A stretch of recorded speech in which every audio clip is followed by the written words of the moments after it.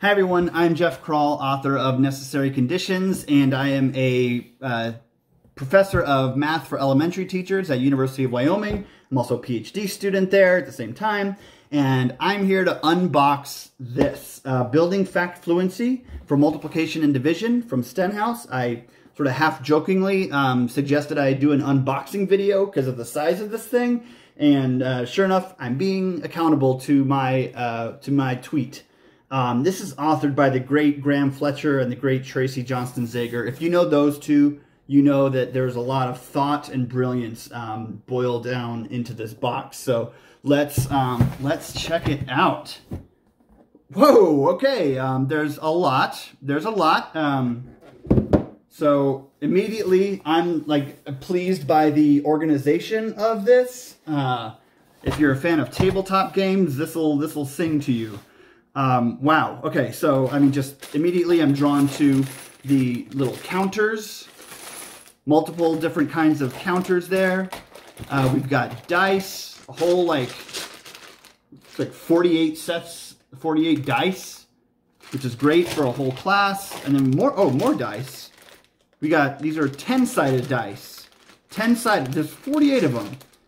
So 10-sided dice for multiplication. This would be perfect for multiplication games and things like that. Or if you play um, Dungeons and Dragons and you want to upgrade your, your, your plus 10 broadsword because you're a paladin. Uh, let's check out what else we got. Um, okay, so we have a whole card deck of arrays. This is great because if you're teaching multiplication, you are going to be using arrays of various kinds. So I love how big and tactile these are.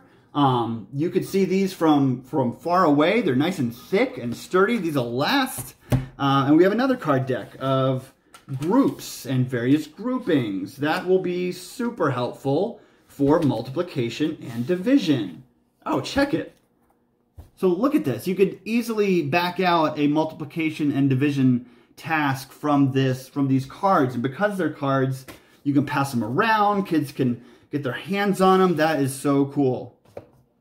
Uh, oh, good. We have a we have a getting started guide. That'll be helpful for um, getting into this. Games at a glance. So maybe some of those dice and some of those counters we can uh, relate with various games. Looks like there's a ton of suggestions for games you can play. Um, and then a facilitator's guide. This is helpful. This is helpful. Um, and the size of this thing, this is like this is like a whole math methods course for elementary teachers all rolled into one guide, and it's got um, suggestions on how to use things in there and how kids learn math. That's exciting. Image talks, my absolute favorite thing to facilitate in elementary classrooms are image-based number talks.